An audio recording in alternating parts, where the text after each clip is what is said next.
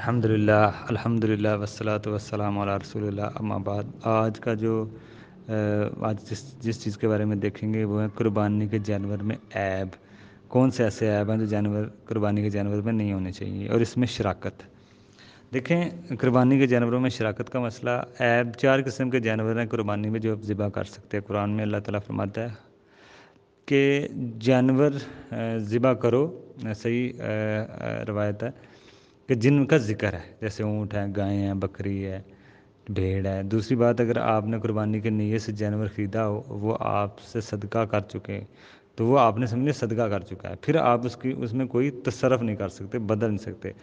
आप कुर्बानी में मुतन ये जो कर दें, उसको फ़िक्स कर दें तो सदका वही सदका होगा। तो वापस नहीं आप ले सकते। जैसे सदका आप दे रहे हैं, किसी को वापस नहीं लें तो ये भी आपने वक्फ़ कर दिया। फिर आप उसमें तसरफ़ या वापस उसको नहीं ले सकते। कुर्बानी के नीयत से लिया गया बकरा अकीका नहीं आप कर सकते, ना उसको काट के खा सकते हैं, क्योंकि वो आपने कुर्बानी के नीयत से लिया है। इसी तरह इसी तरह इसमें मसला का अगर मजबूरी हो तो ज़िबा कर सकते हैं, जैसे बीमार हो जाए या इसमें कोई, इसमें जगह, इसकी जगह दूसरा बकरा आप ले आएँ तो इसमें फिर मजबूरी है। बाज़ अहल ने वाजिब किया है कि अगर इस सूरत में आप लाना आपके लिए वाजिब है, लेकिन वाजिब नहीं है। दूसरी सूरत बकरा अगर लंगड़ा हो आ, अगर आपकी गलती से वो लंगड़ा हुआ है तो आप वैसे ही कुर्बान नहीं कर सकते। ठीक है ना? अगर अगर बकरा का कोई नुकसान हुआ है लंगड़ा हुआ है तो आपकी गलती नहीं है तो फिर आप कर सकते हैं।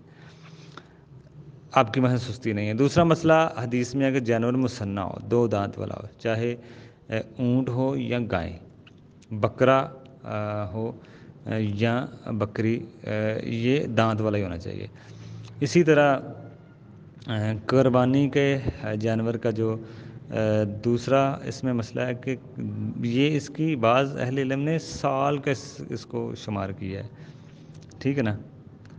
कि ऊँट में मुसन्ना वो है जो पाँच के बाद छठे में दाखिल हो जाए, बकरा दो साल में गायें का बकरा दो साल में और गाय तीन साल में मुसन्ना होगा। लेकिन बेहतर ये कि आप दांत से इसको समझें, जोड़ा जाए, उम्र से नहीं मसले को। भेड़ में भी अफजल यही है कि मुसन्ना हो, लेकिन मजबूरी हो तो छः माह का भी हो सकता है। ये भी अहल इलम ने कहा है, बाद ने एक साल का कहा है। भेड़, लेकिन बाद अहल इलम ने मजबूरी के बगैर भी हो सकता है बकरे में दांता होना शर्त है। तो भेड़ का मसला छः माह का भी राय है, साल की भी है। इसी तरह कुर्बानी के जानवर में शराकत का मसला कुर्बानी में हिस्सा लेना, जानवरों में हिस्सा लेना। देखें, शरका, शराकत दो तरह की होती है, एक मलकियत में शराकत करना, दूसरा स्वाब में शराकत करना। तो स्वाब में तो शराकत हो सकती है, लेकिन मलकियत में एक जानवर में एक ही हो। जैसे सात हिस्से हैं गाय में तो सातवें हिस्से में दो आदमी शरीक नहीं हो सकते। ठीक है ना? मलकियत एक में नहीं स्वाब में आप शरीक हो सकते हैं। दूसरी शक्ल भेड़ बकरी में ज़्यादा लोगों का शरीक होना ये सही नहीं है। बड़े जानवरों में साग लोग शरीक हो सकते हैं ठीक है ना? इसी तरह जैसे एक बंदा एक गाय में सातवें हिस्सा रखता है तो उसमें दो आदमी शरीक बतौर मालिक नहीं हो सकते ये दुरुस्त नहीं होगा। क्योंकि सात हिस्सा बकरी के बराबर है तो बकरी में एक आदमी शरीक हो सकता है बतौर मालिक। दूसरी सूरत बकरी का मालिक एक ही हो सकता है दो नहीं हो सकते। जैसे एक हिस्से में ज़्यादा लोग शरीक हो, हो जाएँ हो सकते हैं नहीं वो एक ही होगा। बड़ा जानवर हो तो इसमें बड़ा अगर जानवर है तो उसमें सात लोग हो सकते हैं। ठीक है ना? स्वाब में आप शरीफ कर लें एक इससे, एक जानवर में, छोटे में, बकरा, बकरी में, ज़्यादा आदमी, लेकिन बतौर मालिक एक ही हो सकता है। तो ये इसमें बात है। दलील इसकी क्या है कि आप स्वाब में शरीक कर सकते हैं के नबी ने अपनी तरफ़ से एक जानवर एक अपनी उम्मत की तरफ़ से किया। स्वाब में आप शरीक कर सकते हैं। ठीक है ना? तो इसलिए बल्कि खुद करें, बेहतर ये कि हर बच्चे की तरफ़ से आप अलग अलग करना, कुर्बानी करना, ये साबित नहीं, आप बल्कि खुद करें और स्वाब में लोगों को शामिल करें।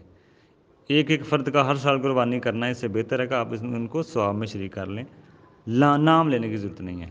इसी तरह कुर्बानी का वक़्त नमाज़ के बाद है, जिसने नमाज़ से पहले कुर्बानी कर दी, उसे दोबारा करनी पड़ेगी। मिसाल के तौर पर अगर किसी ने जोहर की नमाज़ वक़्त से पहले पढ़ ली तो वो नफल नमाज़ हो जाएगी। कुर्बानी का मसला भी ऐसा ही है। ठीक है ना? कुर्बानी का जो मसला है, वो ऐसे ये कुर्बानी करना वक्त से पहले जायज़ नहीं है। ठीक है ना? कुर्बानी करना वक्त से पहले जायज़ नहीं है। सिर्फ़ नमाज़ का ख़त्म होना शर्त है। खुतबा सुनना शर्त नहीं है। मुस्तब यही है कि खुतबा भी सुने। कुर्बानी का आखिरी वक्त अयाम तशरीक, यानी कि ग्यारह, बारह, तेरह, जुलहज, यानी कि अयाम तशरीक खाने पीने के दिन है, ज़िक्र के दिन है। जिससे जैसे हज के मौके पर होता है अयाम तशरीक तो इसी तरह ये मसला भी आ गया कि इसका वक़्त से पहले आप नहीं कर सकते। जैसे जोहर की नमाज़ है तो आप वक्त से पहले नहीं पढ़ सकते। अगर पढ़ लिए तो वह नफली नमाज़ हो जाएगी। अब इसी तरह कुर्बानी का मसला है कि अगर आपने कुर्बानी वक्त से पहले कर दी तो वह नफली तो हो सकती है, लेकिन जो सही कुर्बानी का अजर है वह वक्त से ही होता है। तो अगर किसी ने पहले कर ली तो उसे दोबारा भी करनी पड़ेगी। असल